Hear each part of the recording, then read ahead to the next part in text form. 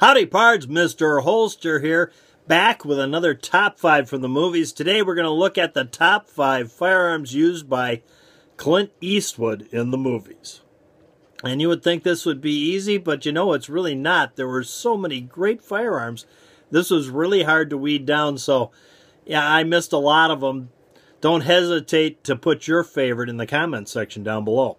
And here we go. We'll start with number five, one of my favorite, well, they're all my favorite movies. Love Clint Eastwood. Gran Torino, 2008. The M1 Garand. Yeah, that classic line, get off my lawn. Yeah, love that movie. Number four, my number four pick, Dirty Harry. The movie is Sudden Impact, 1983, where he has the AMC 44 Auto Mag. I just love this gun. Number three, my number three choice is the Outlaw Josey Wales, 1976. And here he shoots a Gatling gun. Yeah, you can't get much better than Clint Eastwood with a cowboy hat shooting a Gatling gun. Says I. Number two, the number two choice the classic ultimate western with Clint Eastwood, The Good, the Bad, and the Ugly, made in 1966. And here I'm going to throw out two guns that he used in this movie. I know I'm supposed to only have one, but the first is the rifle that he sets his his friend free with so they can go collect another bounty the Sharps 1874, and of course his sidearm of choice, a Colt 1851 conversion.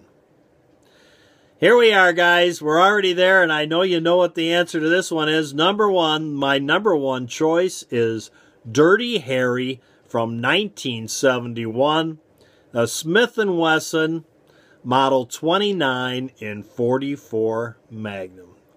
Yes, they'll always be connected permanently to Clint Eastwood, the Smith & Wesson 29. He put that gun on the map. I do have two two more I'm just going to mention. These get honorable mention. The first is, and both these movies are absolutely great movies. Matter of fact, every one of these movies is a great movie. If you haven't seen one, eh, you know, the, the sudden impact one was Sondra Locke. Maybe that's a little weak, but the rest of them are really good movies.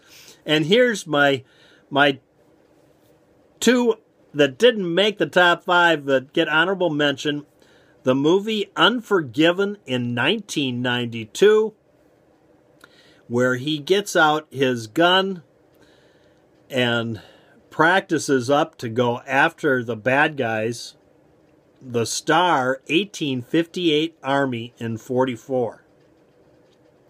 And the other one, honorable mention, and this one, this one I, I would have liked to put it in the list, but eh, it's you know this is not. It, I, I most of the guns in these lists are all yeah, small arms. And this one not so much. Even the Gatling gun appears to be a small arm compared to this. The Thunderbolt and Lightfoot, 1974.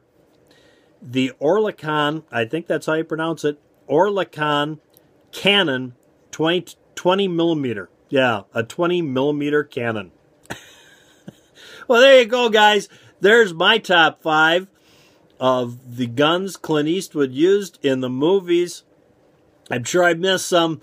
Type them in down below and tell me what I missed. Thanks for tuning in. If you like my channel, please subscribe. Till next time, from Mr. Holster and Jack, go out and stay safe.